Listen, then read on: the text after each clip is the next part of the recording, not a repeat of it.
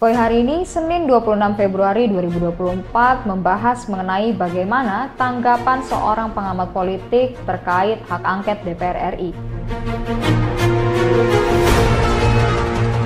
Setelah muncul hasil real count dari Komisi Pemilihan Umum yang saat ini sudah mencapai sekitar 77% perhitungan suara, kini mulai banyak pihak-pihak yang menyuarakan dugaan kecurangan pemilu dan menuntut hak angket DPR RI untuk dilaksanakan.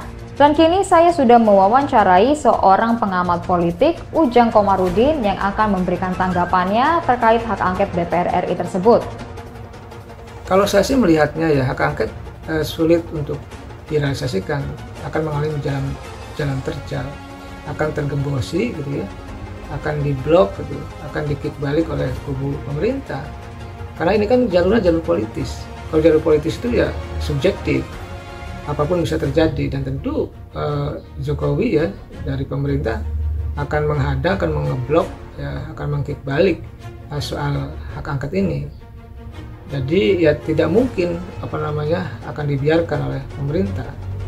Nah, yang saluran yang tepatnya sebenarnya di Bawaslu dan di Mahkamah Konstitusi itu sesuai dengan Undang-Undang 7 2017 Undang-Undang Pemilu. Tapi kalau seandainya partai yang kalah e, mendorong hak angket, ya kalau terjadi pun ya akan mengalami kegaduhan dan kelihatannya nanti juga apa namanya kekuatan-kekuatan yang mendorong hak angket itu juga akan tergembosi, akan terpreteli, akan mengalami mungkin ya diungkap kasus-kasusnya akan terbuka apa namanya hal-hal negatifnya persoalan-persoalan hukumnya akan muncul biasanya akan berterbangan di narasi politik Indonesia.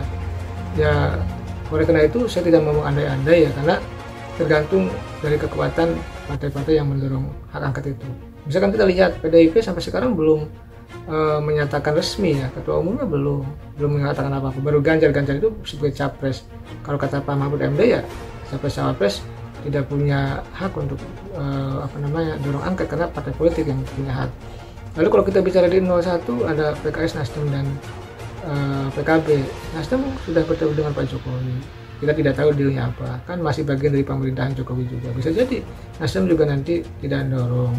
Lalu juga misalkan PKB PKB nanti uh, bisa jadi ditekan persoalan hukumnya uh, apa petingginya ketua umumnya sehingga juga bisa balik arah tidak mendukung PKS juga kan dekat juga dengan uh, apa namanya Prabowo dulu pilpres sebelumnya dan PKS juga ada ada di koalisi SBY dulu dan SBY ada di koalisi uh, Jokowi sekarang bisa juga nanti juga uh, berbelok. Jadi saya melihat hak angket ini jalan terjal akan tergembosi akan apa namanya layu sebelum terkembang dan akan berat untuk bisa direalisasikan. Ya kalau bisa direalisasikan pun kalau bisa direalisasikan pun ya itu akan sulit akan berat. Oh, karena waktunya nggak jelas kapan akan selesainya gitu. Dan kalau terjadi hak angketnya ya akan ada kegaduhan uh, seperti uh, dulu misalkan uh, apa nama uh, hak angket senturi yang satu tahun setengah nggak uh, jelas rekomendasinya ada tapi nggak jelas eksekusinya. Nah sedangkan kita ini dalam proses, proses pemilu ini kan berakhir katakanlah di tanggal 1 Oktober dengan dilantiknya anggota DPR yang baru. Lalu tanggal 20 Oktober pelantikan presiden dan wakil presiden yang baru. Itu kan berakhir. Sedangkan kalau hak angket terrealisasi itu nggak jelas waktunya kapan dan terjadi. Dan kalau siap bicara siapa yang curang semua juga curang. Semua kubu juga apa namanya eh, bisa melakukan kecurangan dengan porsinya masing-masing kalau bicara kecurangan. Dan soal kecurangan itu harus dibuktikan di Mahkamah Konstitusi. Dan kita lihat dari pemilu 2004, 2009, 2014, 2019 narasi kecurangan itu selalu muncul, selalu ada, ya selalu katakanlah dihembuskan e, dari mereka yang kalah.